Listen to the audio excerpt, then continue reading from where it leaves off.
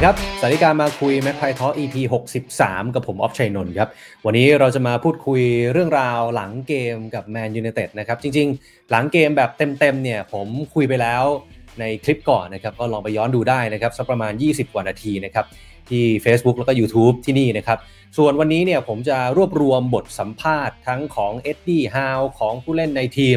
หลังเกมที่เจอกับแมนยูนะครับ แล้วเดี๋ยวเราจะมาพรีวิวเกมต่อไปที่เราจะเจอกับเอเวอร์ตันกลางสัปดาห์นี้ รวมไปถึงข่าวคราวความเคลื่อนไหวในการเปิดตัวผู้เล่นใหม่ และผู้บริหารใหม่ของเราด้วยนะครับ ติดตามพร้อมกันเลยนะครับ เริ่มต้นเรื่องแรกผมพาไปดูบทสัมภาษณ์ของเอ็ดดี้ฮาวหลังเกมที่เราบุกไปเสมอผีแดง 0-0 นะครับเอ็ดดี้ฮาวบอกว่าพวกเรามีช่วงเวลาที่ดี มีจังหวะที่โจลินตันโหม่งไปชนเสาชนคานถึง 2 ครั้งติดกัน และจังหวะของคาลัมบิลสันที่น่าจะได้จุดโทษ ผมภูมิใจกับนักเตะมาก ๆ และยินดีกับผลการแข่งขัน ผมว่ามันเป็นจุดเด่นของทีมนะ ที่ตอนนี้ทีมอื่นยากจะเอาชนะ ความท้าทายของเราก็คือต้องพยายามหาความสม่ำเสมอต่อไป ผมรู้สึกว่าเราอาจจะเก็บบอลไว้กับตัวได้น้อยไปหน่อยในเกมนี้ ส่วนประเด็นที่คริสเตียโนโรนัลโดพยายามจะลักไก่ยิงแล้วก็โดนใบเหลืองไปเนี่ยนะฮะเอ็ดดี้ฮาวบอกว่าตอนนั้นผมมองเห็นอยู่นะ แต่สำหรับผมมันก็ชัดเจนว่าฟาเบนแชร์เนี่ยยังไม่ได้เตะฟรีคิก เขาปล่อยให้นิกโป๊ปเป็นคนเตะ โป๊ปก็รอเตะฟรีคิก และโรนัลโดก็แย่งบอลไปจากเขายิงเข้าประตูไปดื้อๆฮาวบอกว่ามันคงเป็นประตูที่ยอมรับได้ยากมากๆ หากผู้ตัดสินเป่าให้เป็นประตูนะครับสำหรับผมมันชัดเจนว่าบอลยังไม่ได้เล่น ส่วนประเด็นอาการบาดเจ็บของ 2 ตัวหลักอย่างอเล็กซานเดอร์อีซักและอลังแซงแม็กซิแมงครับเอ็ดดี้ฮาวบอกว่าอีซักนี่โอ้น่าจะเป็นข่าวร้ายเลยนะครับ เพราะว่าไม่น่าจะกลับมาลงเล่นได้จนถึงเดือนธันวาคม หลังจากที่มีปัญหาอาการบาดเจ็บต้นขาตั้งแต่เข้าแคมป์ฝึกซ้อมกับทีมชาติสวีเดนครับเอ็ดดี้ฮาวบอกว่าอีซักบาดเจ็บอีกครั้งครับมันเป็นอาการบาดเจ็บที่คล้ายกับตอนบาดเจ็บครั้งแรกที่เขากลับมาจากสวีเดน เพราะฉะนั้นเขาต้องพักไปอีกสักระยะ เราอาจจะไม่เห็นเขาก่อนพักเบรกฟุตบอลโลกเลยนะครับ นั่นหมายความว่าอีซักเนี่ยอาจจะกลับมาอีกทีหนึ่งก็คือหลังบอลโลกก็คือช่วง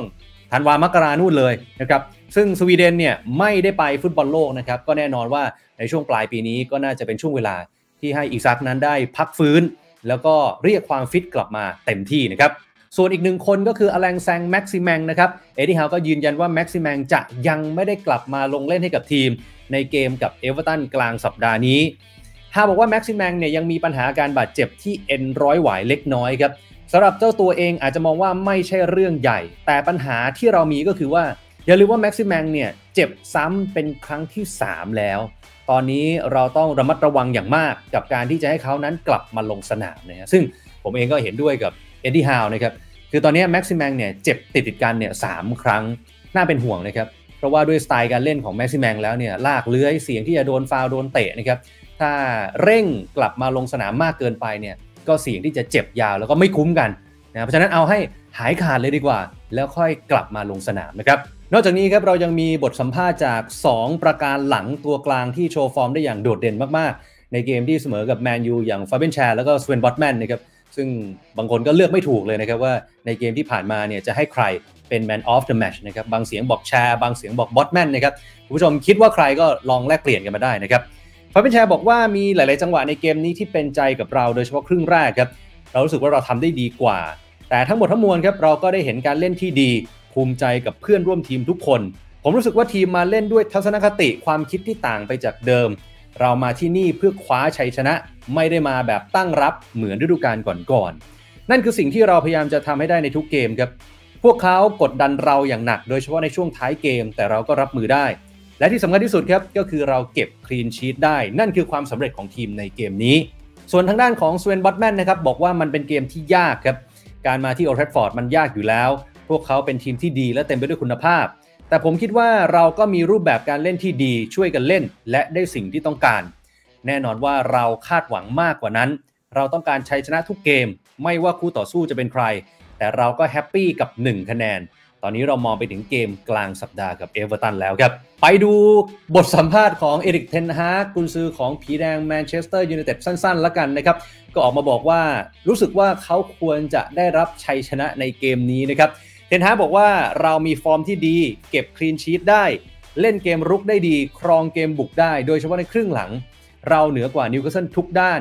น่าจะได้ประตูชัยในช่วงท้ายเกมทั้งโอกาสของเฟร็ดและแรชฟอร์ดโดยรวมแล้วเราน่าจะเป็นฝ่ายชนะ แต่เราก็ต้องเดินหน้าต่อไป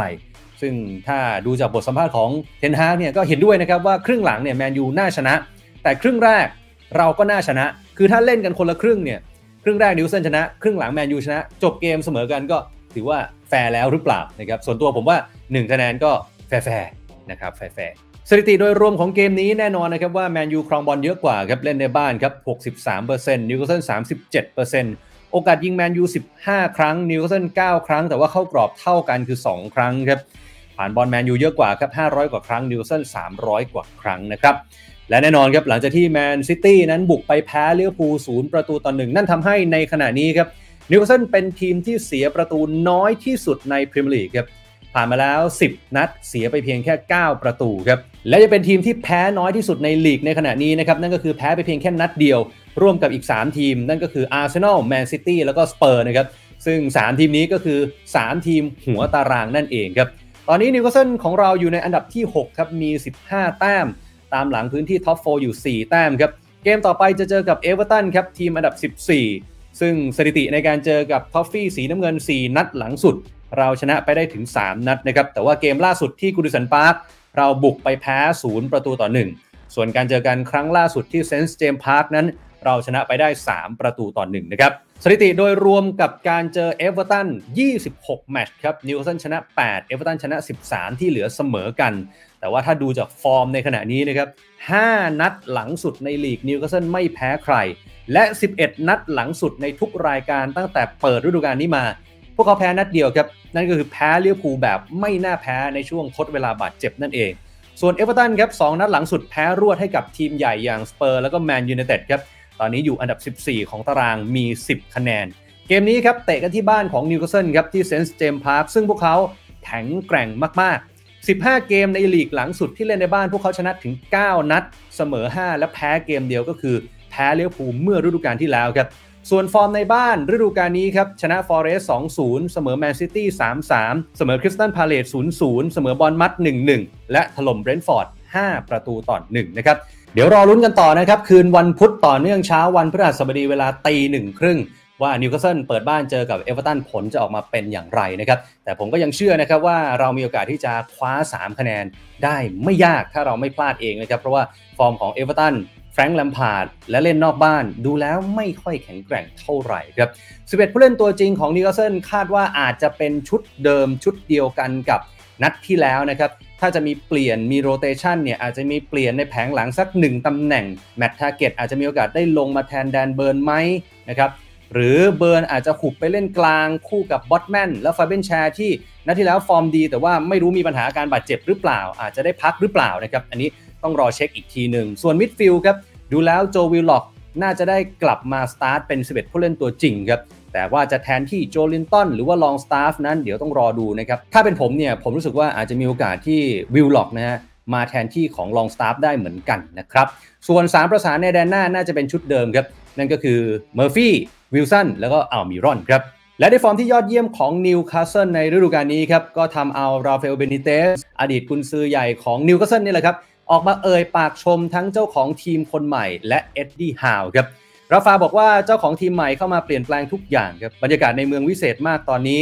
พวกเขาลงทุนกับนิวคาสเซิลและทำได้ยอดเยี่ยมมากๆ มันไม่ง่ายเลย เพราะว่าคุณเข้ามาในตลาดซื้อขายนักเตะตอนเดือนมกราคม แต่พวกเขาซื้อตัวได้ดีมากๆ ส่วนในสนามทีมก็เล่นเกมบุกมากขึ้น นั่นคือสิ่งที่แฟนๆอยากเห็นและกำลังสนุกกับทีมครับส่วนข่าวคราวล่าสุดของนิวคาสเซิลนะครับ ล่าสุดมีการเปิดตัวปีเตอร์ซิลเวอร์สโตนครับ เป็น CCO คนใหม่ของสโมสรอย่างเป็นทางการแล้วนะครับ ซิลเวอร์สโตนเคยอยู่กับอาร์เซนอลมานานถึง 7 ปีครับ ชายคนนี้มีส่วนสำคัญในการดีลอาร์เซนอลกับ Adidas Visit Rwanda หรือการทำสารคดี All or Nothing กับ Amazon นะครับรวมไปถึงการดูแลด้าน commercial ให้กับทีมฟุตบอลหญิงของอาร์เซนอลด้วย เจ้าตัวบอกว่าผมรู้สึกยินดีและเป็นเกียรติที่ได้มาร่วมทีมนิวคาสเซิลรวมไปถึงที่จะได้เป็นส่วนหนึ่งกับการเดินทางอันน่าตื่นเต้นของสโมสร ที่จะพัฒนาไปแบบยั่งยืน และก้าวขึ้นมาเป็นทีมชั้นนำทั้งในพรีเมียร์ลีกและในระดับยุโรปต่อไป เรากำลังสร้างความหลากหลายในด้าน commercial ที่จะนำความสำเร็จมาสู่แฟนๆของเรา และแผนงานการเติบโตที่มีความทะเยอทะยานของสโมสรครับขณะที่ดาร์เรนเอลส์ครับ CEO ของทีมก็บอกว่าเราดีใจที่ได้ซิลเวอร์สโตนมาร่วมงาน เรามั่นใจว่าเราเจอคนที่ใช่สำหรับทีมของเรา ในการทำงานด้าน commercial ในแผนงานของเราครับแน่นอนครับการเข้ามาของ Silverstone นะครับทำให้หลายคนมองไปถึงการเปลี่ยนแปลงสปอนเซอร์ของทีม ทั้งฟัน 88 ที่คาดหน้าอกเสื้อที่จะเลิกแล้วต่อกัน หลังจบฤดูกาลนี้ รวมไปถึงกาสโตหรือว่ากาสโตเร่นะครับซึ่งยังมีสัญญาถึงปี 2024 ก็อาจจะมีการยกเลิกสัญญาหลังจบฤดูกาลนี้เช่นกันนะครับ เพราะฉะนั้นใครอยากได้เสื้อฤดูกาลนี้ที่เป็นสปอนเซอร์เดิม เป็นยี่ห้อเดิมเนี่ยก็อาจจะต้องซื้อสะสมไว้ก่อนนะครับฤดูกาลหน้าอาจจะเปลี่ยนใหม่หมดนะครับส่วนการซื้อขายนักเตะนะครับล่าสุดมีดีลที่มาเงียบๆนะครับแต่ก็มานิวคาสเซิลครับดึงตัวดาวรุ่งอย่างอามาดูเดียโลครับปีกดาวรุ่งวัย 19 ปีครับโดยเดียโลจะลงเล่นให้กับทีมชุด U21 เป็นการเซ็นสัญญาถึงจบฤดูกาลนี้ก่อนนะครับ หลังจากที่มาทดสอบฝีเท้ากับทีมแล้วก็ผ่าน โดยฤดูกาลที่แล้วเจ้าตัวอยู่กับเวสต์แฮมยูไนเต็ดครับและเคยติดทีมชาติอังกฤษชุด U17 มาแล้วครับ ตอนนี้เนี่ยถ้าหันไปดูในชุดเยาวชนเนี่ยทีมของเราก็ดึงตัวเด็กๆมาหลายคนแล้วนะครับ ตั้งแต่ที่เราได้เจ้าของทีมใหม่มาได้โค้ชใหม่มา ได้ผู้บริหารใหม่มานะครับทั้งหมดทั้งมวลดูแล้วก็เป็นการลงทุนเพื่อระยะยาว ผู้บริหารทีมชุดใหม่ไม่ได้มาเล่นๆ ไม่ได้มาฉกฉวยความสำเร็จแค่ประเดี๋ยวประด๋าวอย่างแน่นอนครับแต่แน่นอนแล้วครับว่าผมเชื่อเหลือเกินว่าแฟนๆนิวคาสเซิลเองก็คงอยากจะเห็นนักเตะสตาร์ดังที่จะมาร่วมทีมชุดใหญ่ในเดือนมกราคมนี้ต้องรอติดตามกันต่อไปนะครับ ถ้าเพื่อนๆชอบคลิปนี้นะครับ ฝากกดไลค์กดแชร์แล้วก็กดติดตามให้กับเราด้วยนะครับ แล้วก็ขอบคุณมากๆนะครับสำหรับยอดผู้ติดตามที่ครบ 5,000 ซับแล้วตอนนี้นะครับ ขอบคุณทุกคนมาก ๆ เลยจริง ๆ นะครับ ที่ให้การสนับสนุนมารับชมกันตลอดนะครับ ยังไงก็ฝากกดไลค์กดแชร์แล้วก็กดติดตามกันต่อไปนะครับ วันนี้ลาไปแล้วครับ สวัสดีครับ